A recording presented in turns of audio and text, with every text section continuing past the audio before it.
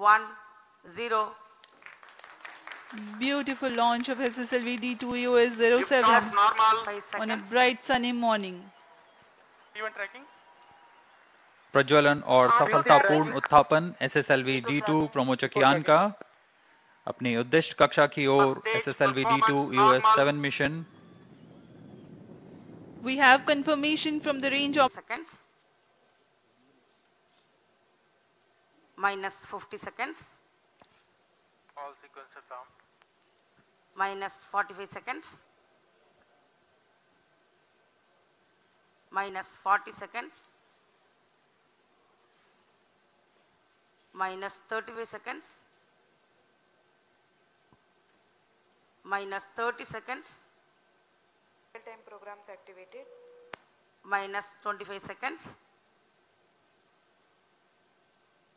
minus 20 seconds, minus 15,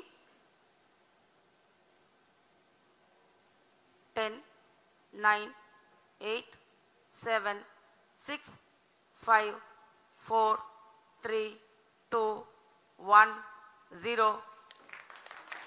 beautiful launch of SSLV D2 EOS Liftoff 07 on a bright sunny morning. Event tracking. प्रज्वलन और सफलतापूर्ण उत्थापन SSLV डी2 प्रोमोचकियान का अपनी उद्दिष्ट कक्षा की ओर SSLV D two EOS 7 mission We have confirmation from the Range Operations Director of the normal performance of stage 1, which means close to 2600 kilonewtons thrust. 87 tons of solid propellant burns for 115 seconds. Bharat के आज़ादी के अमृत महोत्सव को दर्शाता भारत का एक और महत्वपूर्ण mission. दिन के उजाले में दूर तक दिखाई दे रहा है। बहुत से दर्शक आँखों देखा अनुभव लेने यहाँ उपस्थित हुए हैं। ये अपने आप में अविस्मरणीय अनुभव होता है। सभी की धड़कने तेज। Shato is in main auto. plus 1 minute.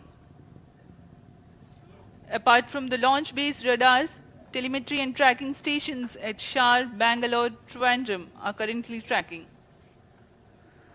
जैसे जैसे यान ऊपर जा रहा है हम देख रहे हैं इसके सभी तंत्र सामान्य निष्पादन कर रहे हैं और यान निर्धारित दिशा की ओर अपने आप को निरंतरित करता हुआ आगे जा रहा है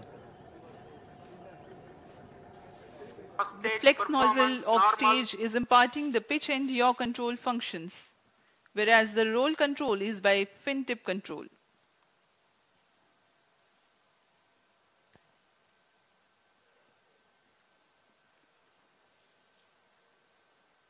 यान अपेक्षित पथ का अनुकरण करता हुआ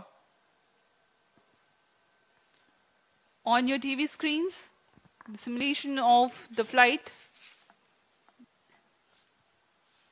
the separation of SS1 will follow the ignition of second stage. कुछ ही क्षणों में द्वितीय चरण का प्रज्वलन हो प्रथम चरण को पृथक कर दिया जाएगा Second stage ignited. First stage separated. 2C separated.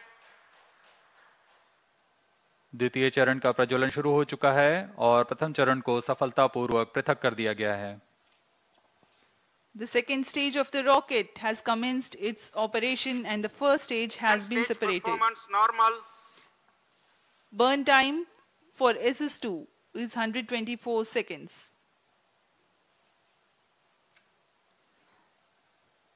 This rocket stage with carbon fiber motor case contains 7.7 tons of HTPB based solid propellant. Ushma Kavach